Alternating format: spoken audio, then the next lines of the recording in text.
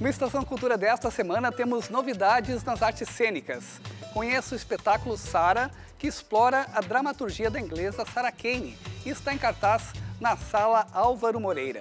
Tem também a exposição do projeto Casa Grande. A mostra Nigredo, obra em negro, apresenta trabalhos de nove artistas no espaço Vila Flores. Tudo isso na Estação Cultura ao vivo, de segunda a sexta, a uma da tarde ou no site da TVE.